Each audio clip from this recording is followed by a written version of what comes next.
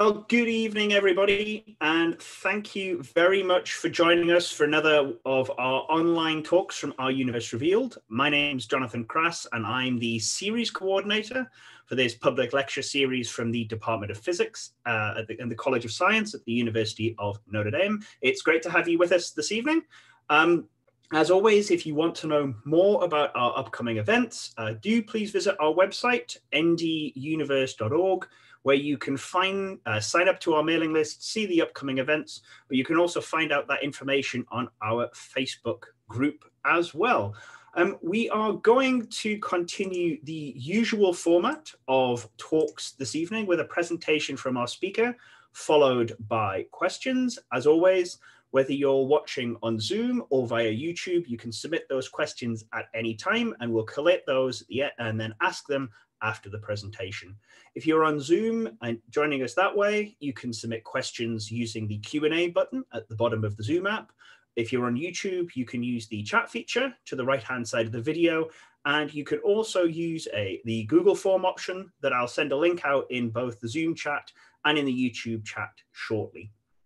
Tonight, we're branching a little bit out from physics to welcome our first speaker to our Universe Revealed from the Department of Chemistry and Biochemistry at Notre Dame.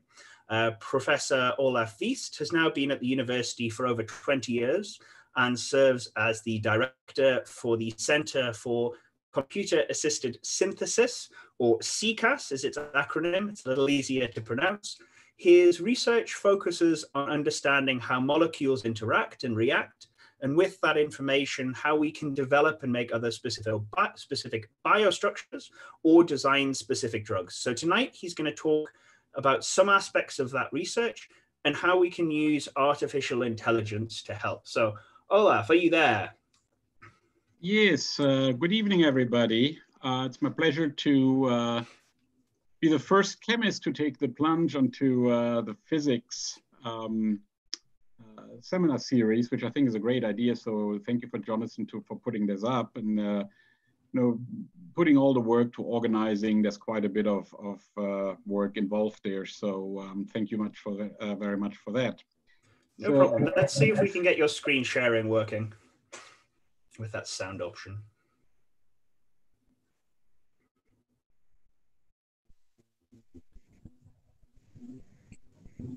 All right. So let me see. Should I go all the way back, right? yep, and then you need to switch your screens. Okay. Uh, swap. That better? Looks good to me. Over to you. All right. Thank you very much, everybody. Um, so welcome to the uh, Rise of the Machines. Um, I was actually quickly looking into the uh, into the attendee list, and there's a couple of people uh, that actually know probably more about machine learning and, and artificial intelligence that I do. Uh, hello, Zoltan. And um, but what I want to do is really how this this whole field of machine learning and artificial intelligence um, has really changed the way science is done these days. I mean, artificial intelligence, if you look at the uh, popular press, is certainly one of the things that has captured people's minds. And, and whenever we have something like this, there's a lot of hype around it.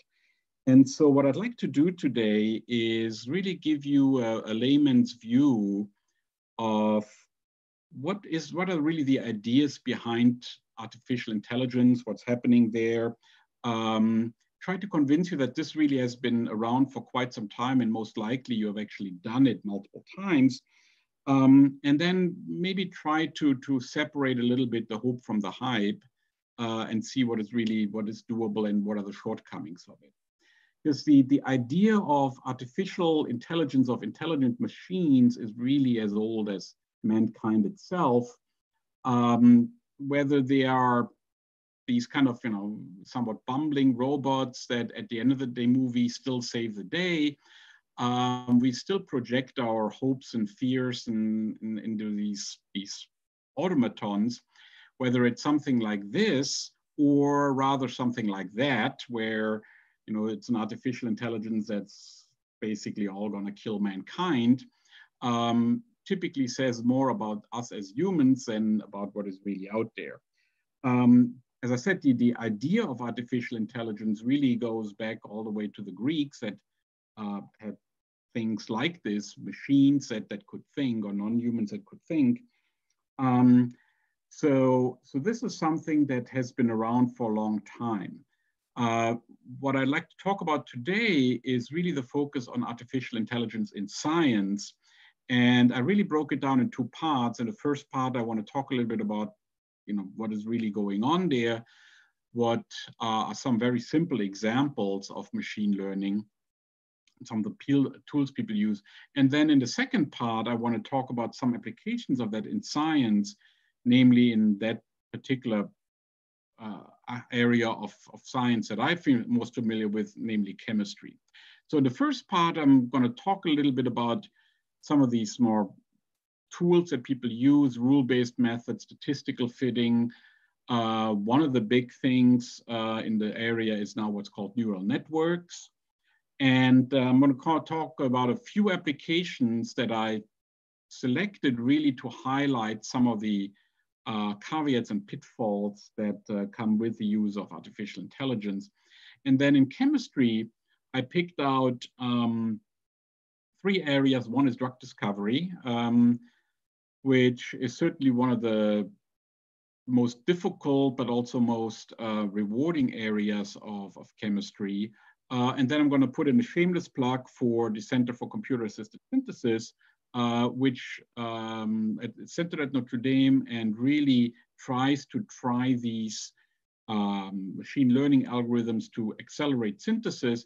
And at the end, I'm going to show you an example of, not from our work, but from somebody else, um, the so-called computer. All right, so let's get started. What is artificial intelligence? It's really a concept that has been around for a while. So here's a definition from 1955. And uh, it's basically the idea that a machine or a computer or an algorithm can really mimic an intelligent human being, uh, every aspect of it, so precise that you really can't tell the difference. And this is something that is uh, known by the so-called Turing tests. So imagine yourself, you're an examiner behind a wall, and on the other side of the wall are um, two entities, either a machine or a human being. And you ask them questions, they answer, you try to figure out whether they're, whether they're the computer or they're the human being. If you can't tell the difference, then Turing said this is um, an artificial intelligence. You can't tell the difference to a real one. Um, this actually is a very interesting way to, to kind of sidestep this uh, problem of what is intelligence really? What defines it? It really uses this, this, this kind of sidestep in saying, if you can't tell the difference, then it's the same. Um, this is, of course, also a good place to insert the uh, I think in, in talks like this, there's a you know, mandatory nerd joke. So here's the nerd joke from um, uh, from very popular comic series and saying, you know, for extra credit in this Turing test, if the computer can convince you that you're a computer, then there's extra credit for it. All right, so this is the big field. So how do we get there? How do we make a computer that can basically mimic uh, an intelligent being. And one of the approaches, not the only one, is something that's called machine learning. And so it's an algorithm that learns, that takes input, and each iteration gets better at it. It uses training data, which is going to be an important term that we're going to come across several times to make predictions or decisions without actually being explicitly programmed to do so. So this is something that can take data and give you some output. And if you would feed it other data, it would give you another output. Um, and it is never told to do this or that. It is simply deducing this. It learned it from the training data. So, okay, so how does this work? Um, and so as a kind of a general outline uh, of, of a machine learning algorithm is, a, is kind of a flow scheme, if you will, where imagine you, you have a, some kind of data, whatever that might be, and it is really um, typically the data as it is originally is often not useful. You have to bring it in a form that the computer can actually understand and that are relevant for the question that you're trying to answer. And that's going to be one of the, the big problems in this field because what this data is and how you prepared it um, will basically, once you decided that everything else is, is almost automatic. So um, you have to put a lot of care in thinking about what is the right data, what to look like, um, how is it prepared um, to, for the computer, because the computer will find or will respond to that and, and find weaknesses in it and do so in ways that are not predictable. Once you have this, you put this into some kind of a machine learning algorithm. And what this thing is, is really a, a computer program, which in the simplest case simply takes rules, very strict rules of saying, if this is case one, then do this. If you see that, do that. If the data says that, do something else. So a very simple if then kind of thing.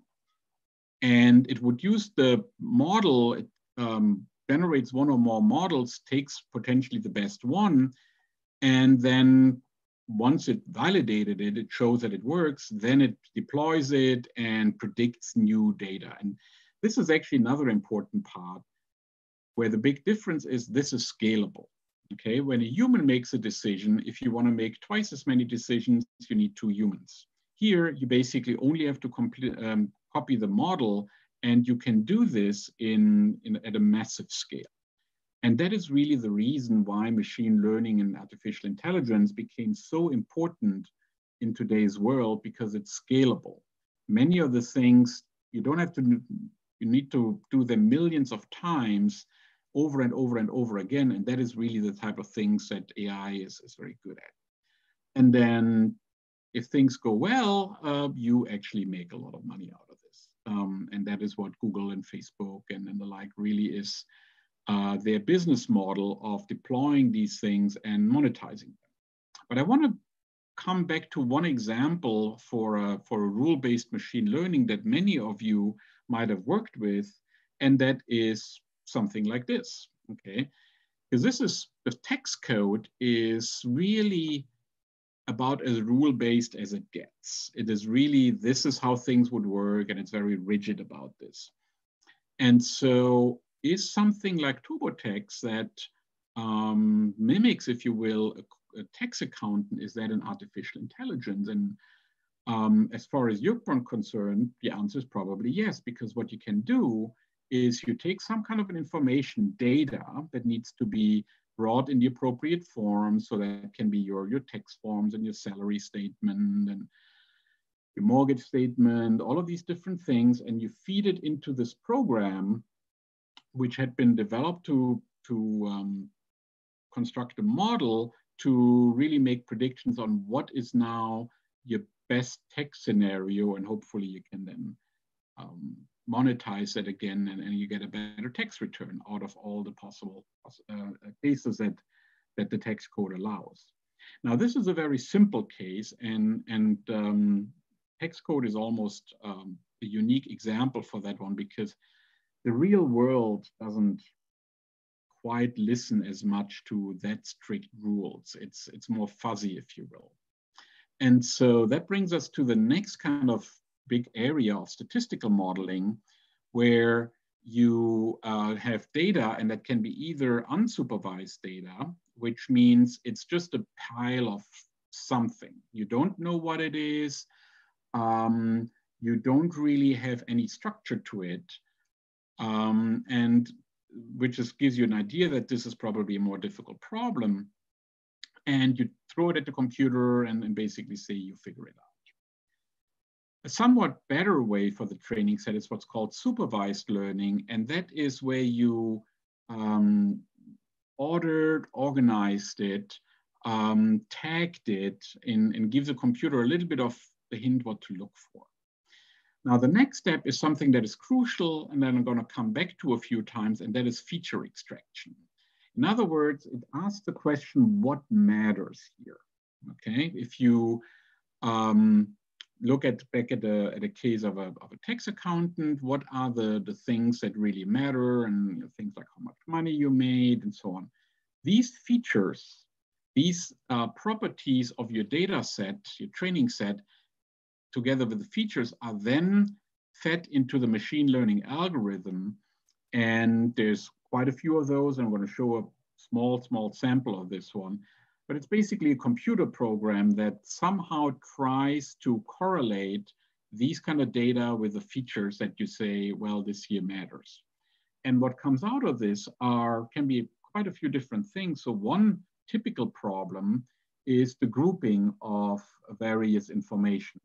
So um, is this a square? Is it a oval? Is it a star or what? To recognize things. And you see probably already the importance of that one where you think about things like, like uh, language recognition, text recognition, when you post a, a letter that uh, some computer is able to, for example, read uh, the uh, zip code that you put on there, even though the person had a really bad handwriting like myself.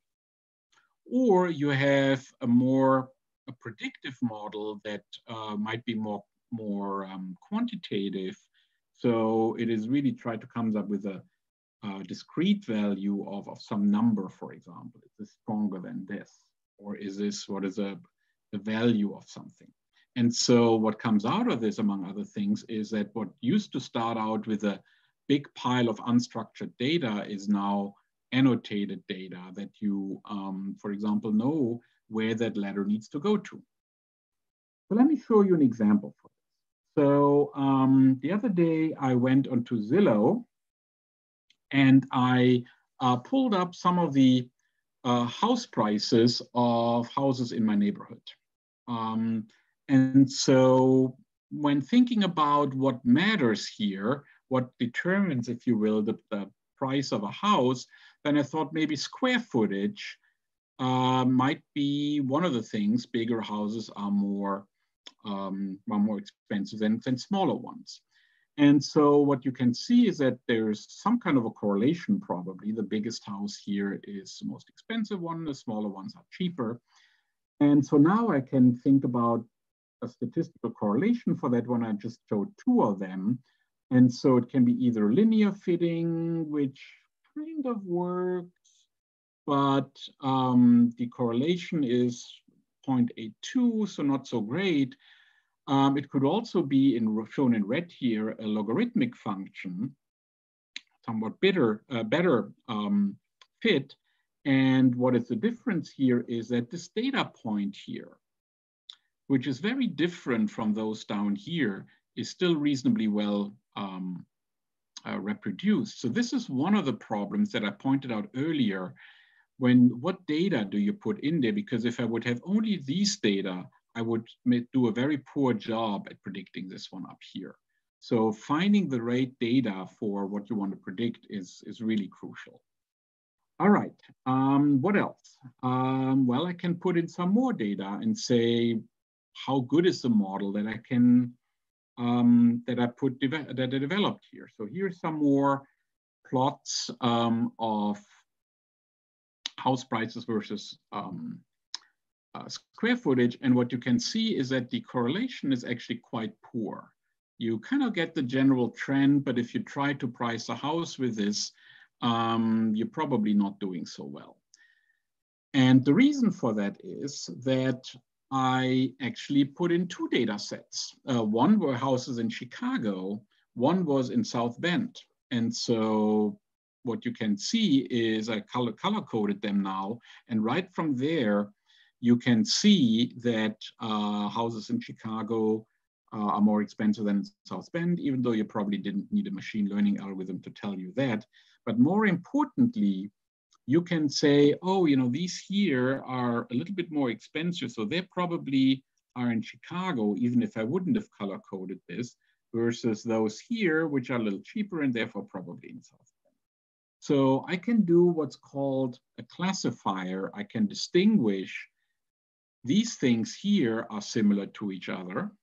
And then those things here are similar to each other. And that works very well in some areas and, and not so well in others. So if things are very similar to each other, it's a bit of a problem.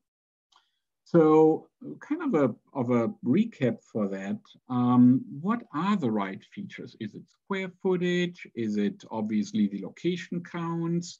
Where, what is the age of a house? So I just picked one feature here, but it could be many other features that probably I could think about and I don't know which one really matters. What is the right data? Um, do I really need this data point up here or can I do just with those? Um, is going to be important because as I mentioned already, if I just have these data and I try to uh, predict this data point, I will be terribly off. And then last but not least, what is the right functional form? Is it a linear? Is it a logarithmic or, or any kind of a polynomial, any kind of a weird function that you can uh, think of? What is the right functional form? And so to get a bit of a handle on, on these problems here, people came up with uh, a different type of algorithm, and these are the so-called neural networks. So what they really tried to address are some of the shortcomings that I just mentioned and say, okay, I don't know what the function looks like. It can be very um, uh, complex, but you neural network, you go figure it out. Um, the number of features can be very, very large. I just showed you um, basically one feature, but imagine if you want to recognize a picture where every pixel on the picture is a feature. It can be you know, red or green or blue or dark or, or light. And so you got thousands and hundred thousands of pictures of pixels in each picture. And so doing this kind of a linear regression that I showed you earlier, a polynomial is just, will basically kill your computer very quickly. Um, I told you about a binary classification problem, but very often they are more than binary. Again, is it a square or is it an oval or is it a star? These are many of the things that we need to, to sort out. And then last but not least, I don't want to rewrite the algorithm every single time. I want to come up with one algorithm that can that I can use for many, many different uh, problems. And so neural networks are flexible enough to do precisely. So here's roughly what they look like. You have an input layer, which can be the features, and there can be a lot of them. And then I want to get an output layer, uh, an answer, if you will. So that can be a yes, no, it can be a classification over four different examples, can be any number of things. And then in between, I have what's called a hidden layer. And so that was really the idea where people were start thinking about neural networks, as the name already says, it kind of comes from brain, um, even though the relationship is kind of remote. And even people back in the 40s were thinking about this of saying, okay, if I can start passing messages uh, to this and to that and to that and all of these different combinations, then it turns out that these models, these neural networks, are able to uh, come up with something that is really be able to fix or to fit very complex function. The drawback is to a degree is um, I need a lot more data on this side and I need much more computing power. And that was really the reason why until maybe 10 or 15 years ago, uh, even though the ideas were out, neural networks were really not by far as possible, uh, uh um, powerful as they are today. But many of the machine learning algorithms that, that you see now in use nowadays are based in some form of a variation of neural networks. I want to point out one big problem, if you will, or one of the things with, with neural networks, and that is they're usually not interpretable, okay? In other words, I can go through all of this and I will make be able to make a prediction here, but I don't know why.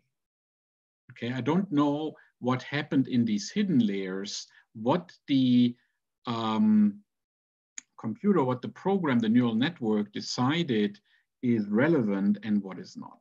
So it is not really an understanding in the human sense, but it is simply a fitting. Okay, and so let me show you uh, another example of that. So here is a classifier problem. Um, you have a couple of pictures and uh, the question is basically, is it a cat or a dog? And so you would train the, the neural network or any kind of a machine learning algorithm that you might choose. And you give it a, a what's called a, a structured data set uh, by saying, uh, here's a couple of pictures, and yes, that here is a cat, and that is another cat, and no, this is not a cat, this is a dog, and there's another dog. And so I tell the, um, the program what these things are. I don't tell it why, okay? And then the program will hopefully pick out the right features in saying that allows it to decide, well, these here are cats and these here are dogs.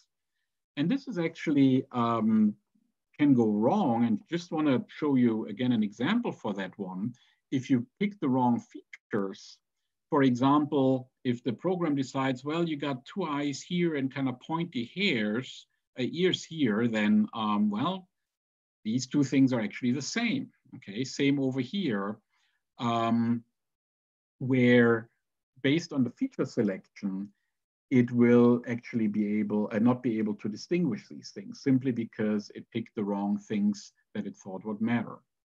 And that is one of the things where this lack of, of understanding of really um, why is it, you know, is this a cat and, and, and this is a dog, um, that will be, uh, can sometimes be very, very wrong.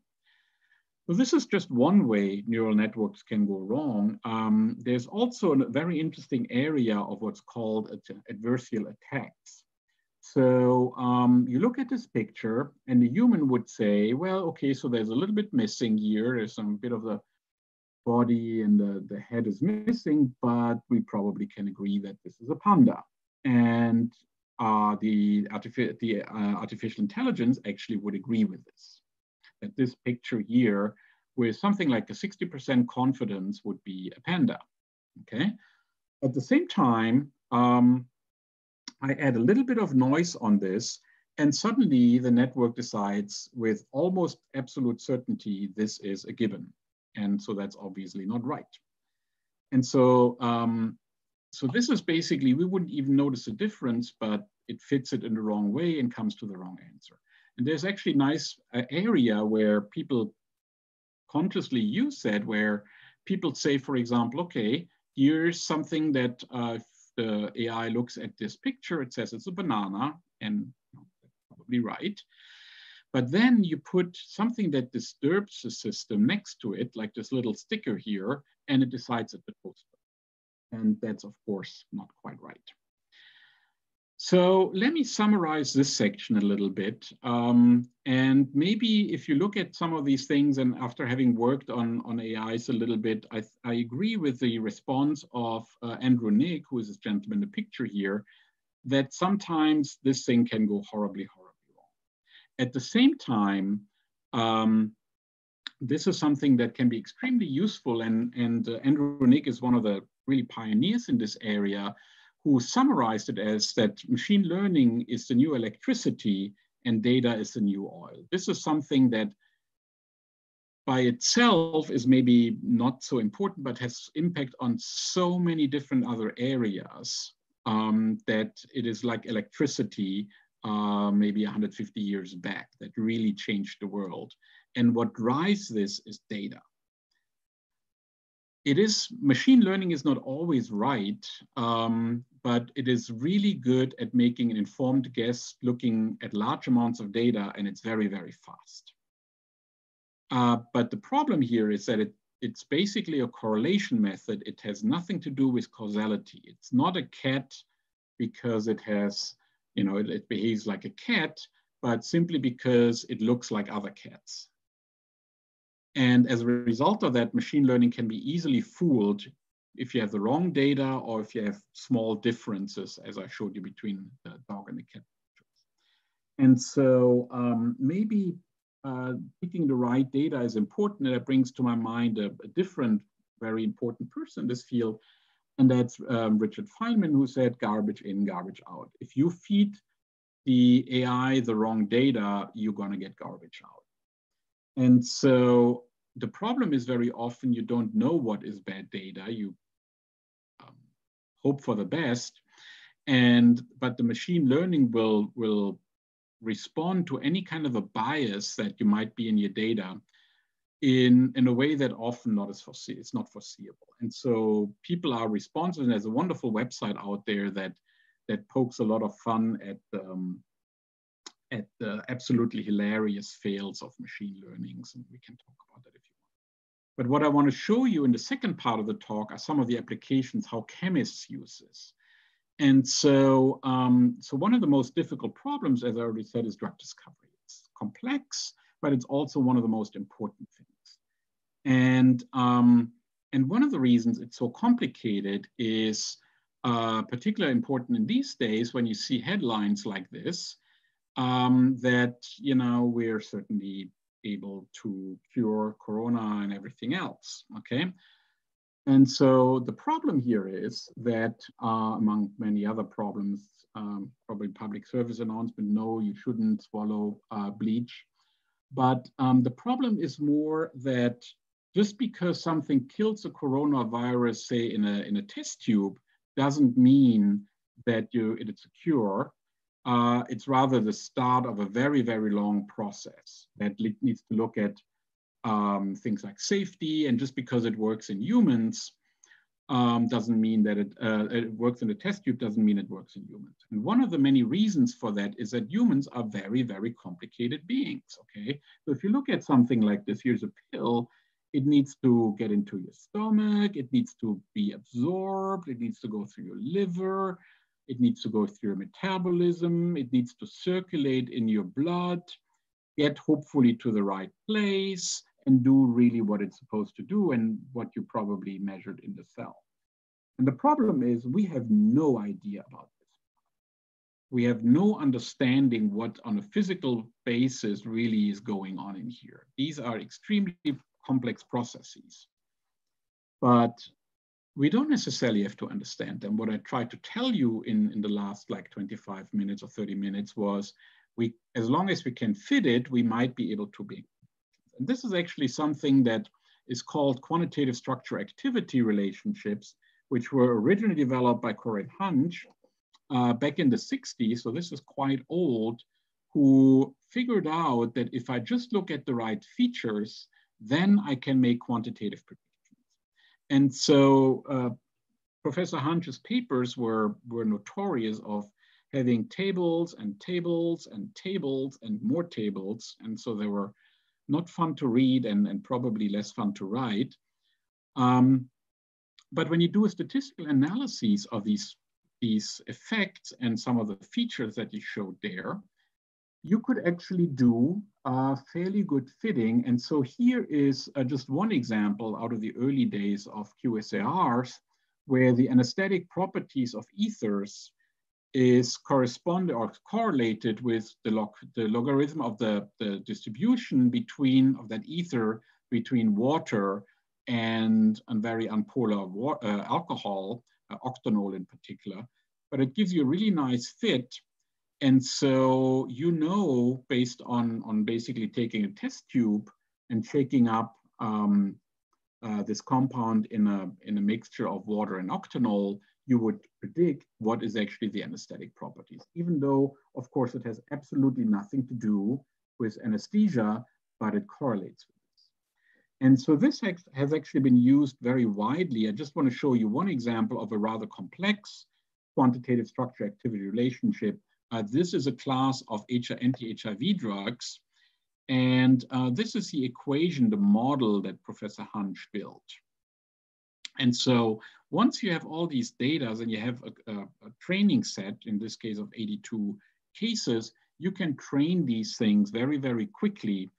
And uh, that is one of the reasons why, of course, that was one of the first things people did once COVID came along. So I just um, looked at machine learning and COVID uh, last night in Google Scholar. And even though this is only out for two, three months, um, we already have over 4,000 studies using these type of machine learning uh, methods to really tackle um, drug discovery. We have been using that in the Warren Center for Drug Discovery here at Notre Dame for some time now.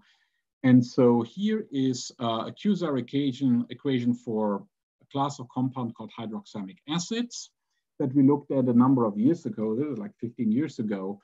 And um, we correlated various properties with the IC50. Uh, this is the IC50 for a class of prostate cancer cells, um, so-called PC3 cells.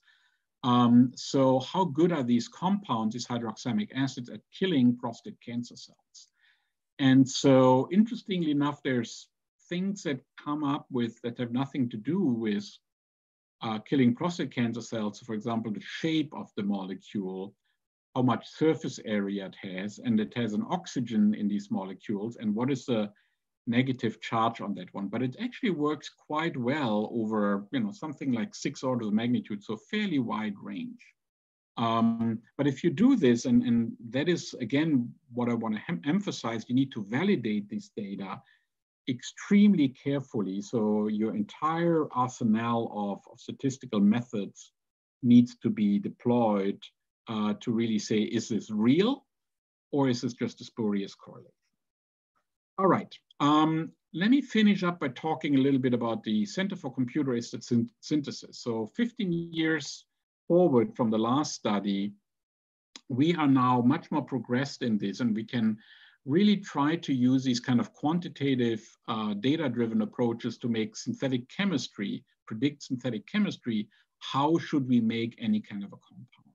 I'm only going to present a very few cases on this one, but if you want to learn more about this, so here's a shameless plug for our website and our Twitter feed, where uh, you can learn a lot more about these things. This is a group of six people, um, uh, Nitesh and myself here at Notre Dame and other people at Princeton, Colorado State, Berkeley, Utah, um, that have different sets of expertise. And we work with various companies in pharmaceutical industry, chemical industry, information technology, but also with academic collaborators but also try to yeah, really give talks like this one here to the broader community and saying, look, here is really a new development in science, what we can do with this.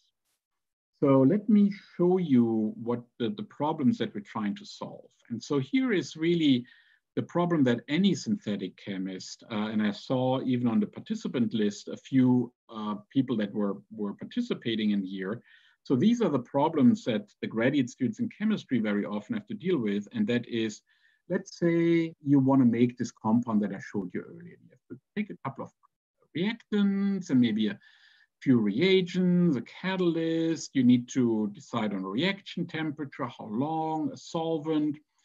And so if you if you do just a few cases of each of those, um, and but if you try to look at all of the combinations, you get out something like, like 4 million possible combinations. And each reaction takes something like a day. So it's probably pretty clear that this is, you know, is not going to be feasible. Um, even though our graduate students work really hard on it. Um, so here is an example we can use. So here's another reaction uh, that Matt Sigman in this paper here studied. Uh, and again, you see the various things people tried. In particular, they were interested in looking at ligand here. So this is one of the ligands that they tried. And again, they generated a training set with really, really small, just six data points. But that wasn't turned out to be enough that they can fit a polynomial in this case. And even though many data points were possible here, they don't have to do this. These six are enough to really find the optimal ligand that gives uh, really a good result uh, for what they were looking for. Um, here's another example from the Doyle lab uh, that is again a part of the, um, the center. And um, so this is a, a, reaction called the Buchwald-Hartwig reaction. And what they're trying to do is make uh, a bond between a nitrogen here and a carbon here. And this is really one of the uh, most widely used um, reactions in pharmaceutical industry because most of the drugs that are out there contain one or more nitrogens. And so again, um, they tested a few things and uh, they actually did a few more data sets. In fact, they did over 4,000 of them by testing various additives and reactants and catalysts and bases and all of that. So they did actually close to 4,000 experiments. And then they generated the features. And this was actually done computationally. So this is actually fairly fast compared to this. But you generate features and then you train the, the model. And what it gives you out there is the optimal synthetic procedure for any reaction of this type. So rather than now having you know, try many things, you can actually predict for this particular reaction that you're interested in what those are. Uh, and then the, the, uh, the, model will predict really what is the catalyst, the ligand, um, the reactant that you should use. And so they tried a whole number of, of um, machine learning algorithms, and I'm not going to go through all of them, uh, but you see our old friend, uh, the neural network here, linear fitting. Both of them, the linear fitting, not so good. The neural network, much better. But the random forest, which is another um, method here, is, um, is really the best. I want to finish with um, just saying that what you come out of here is procedures, synthetic procedures, um, cookbooks, if you will, that allow you then to, to make molecules. And one, of course, once you have these cookbooks, if you will, then you can also use a robot again to really do this. So here's a picture of an automatic synthesis lab, a robot, if you will. Uh, this one particular one is in a lab at MIT. And I want to finish up with showing you an example for this. And that is a synthesis of Benadryl, um, which is this compound here. It was the first FDA approved antihistamine and it's still on the market uh, today under these, um, under these names here. And so uh, a lab in, in the UK has actually programmed um, a robot uh, or a Chemputer, if they call it, to make this compound. And I want to finish up with that, um, if it allows me to do so.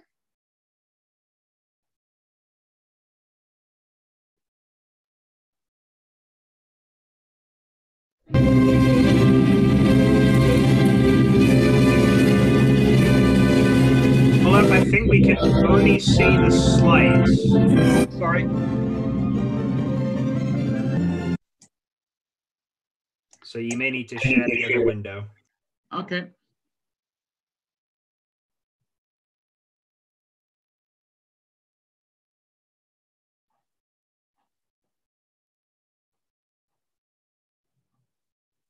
Let me go back to this. Is this better? Um, I'm just not seeing the YouTube video window. That's all. I'm still seeing PowerPoint. Mm.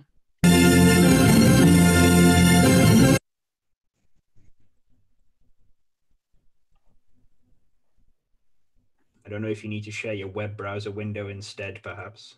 Yeah. Let me. Do, do, do, this one then. That looks better. Let's get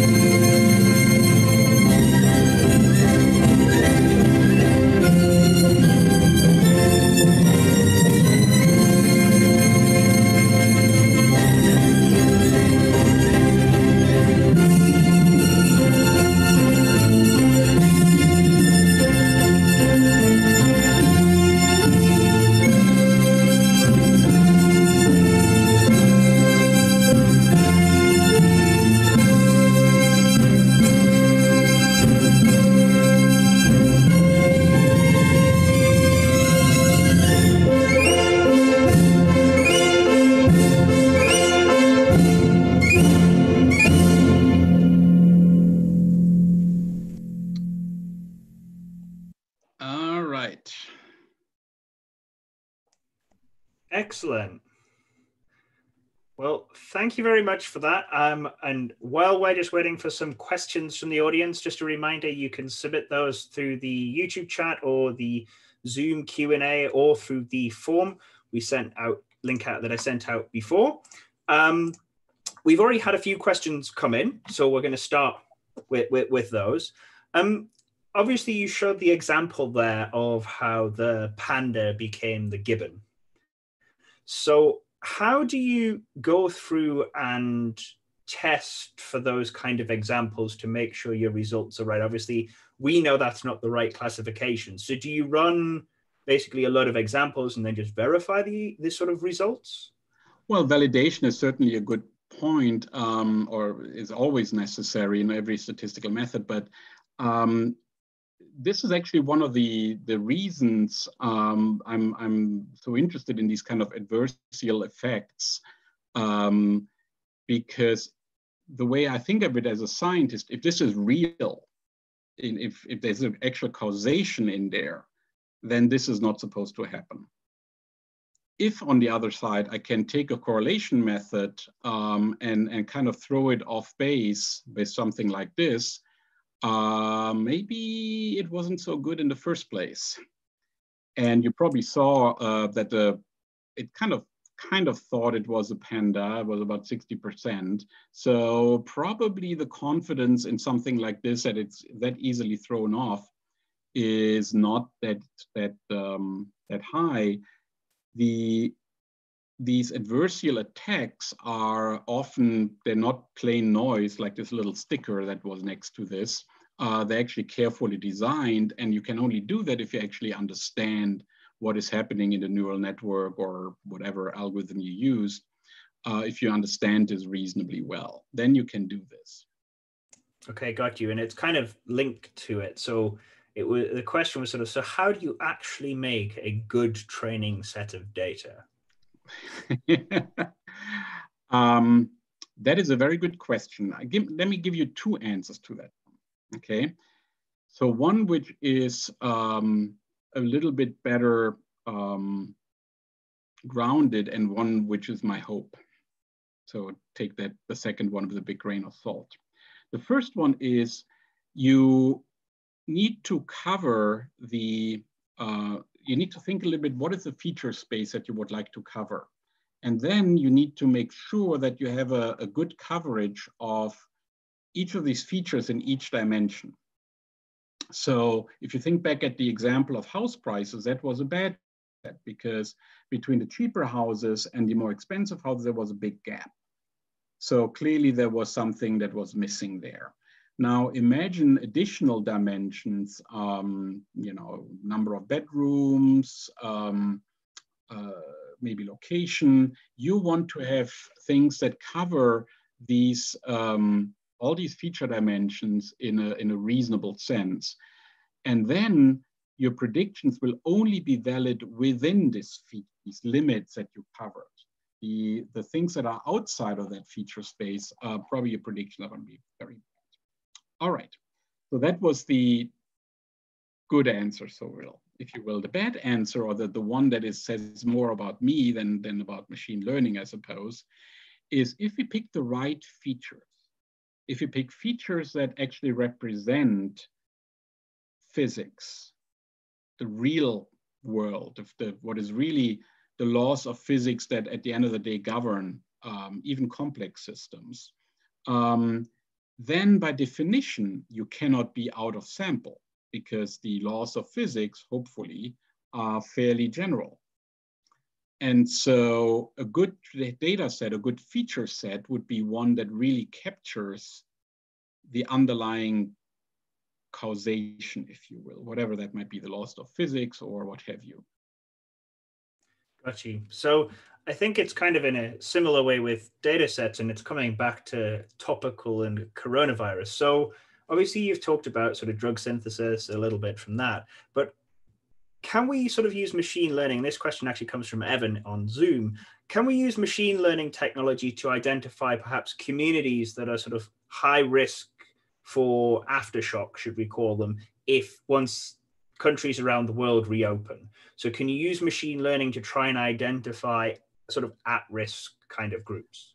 Um, yes, and, and probably a lot of these things uh, have already been done. As I've mentioned, something like 4,000 articles or, or reports that were, so I didn't read all 4,000 um, so, uh, but that is exactly what things are used for, when, to, to kind of identify these clusters of, uh, oh, you have to be very careful here, or here are risk factors. Um, and so this is something that is uh, actively ongoing. Same with um, trying to make clinical prognosis.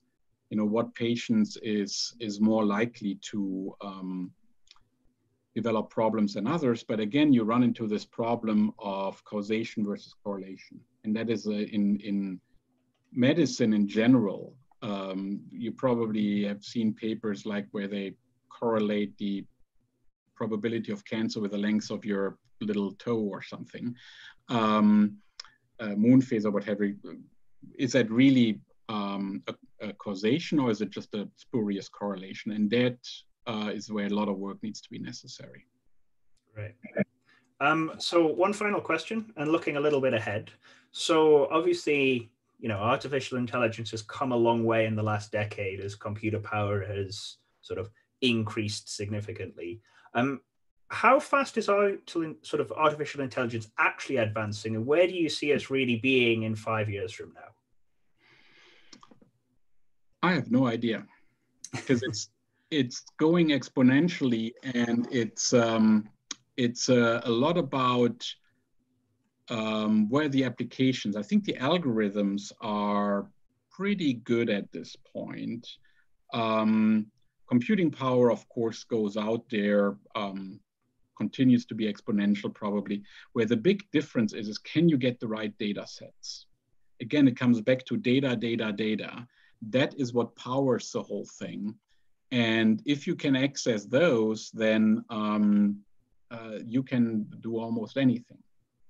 Um, I think the, uh, and again, this is quoting Andrew Ng, who is a, um, who's really one of the more uh, thoughtful people in the field, saying, if there's something a human can do in a second or less, there's going to be an AI for it. Got you. Got you. So we'll we'll, we'll get there, but we'll see if it's in five years or a little longer. Um, one final one final question, which I think is a, a, a nice one looking ahead.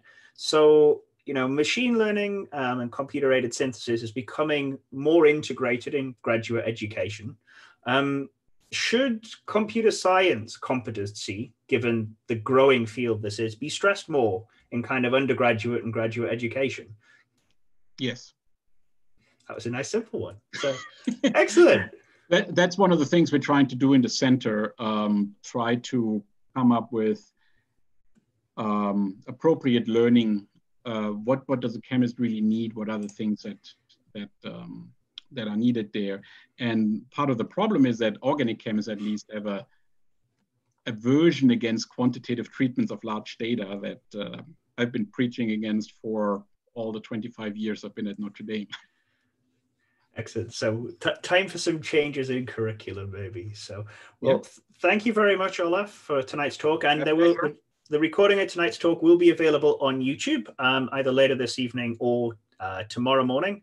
So if you've missed anything, want to go back and take another look, you can um, do so, and you can look back at the previous talks from our Universe Revealed there as well. Um, we'll be back next Tuesday for on Tuesday, the 5th of May at the same time of 7 p.m. Eastern Time. And that's going to be with Professor Alejandro Clocchiatti, who's a visiting professor at Notre Dame from the Instituto de Astrofísica at the Pontificia Universidad Católica de Chile. Um, he's going to be talking about the following. It's quite an exciting topic, being an astronomer that I am. Um, it's how the power of science really comes from its ability to make accurate predictions based on evidence. And the talk for that title is Flat Earthers Need Not Apply the Predictive Power of Physics. So that's what's coming up next week. And you can find all that information out on our website, nduniverse.org. Don't forget, if you're on YouTube, to subscribe to our channel there as well. Thanks again to Olaf for his presentation this evening. Thank you all very much for joining us. Stay safe out there and hopefully see you back next week online. Bye bye for now. Bye.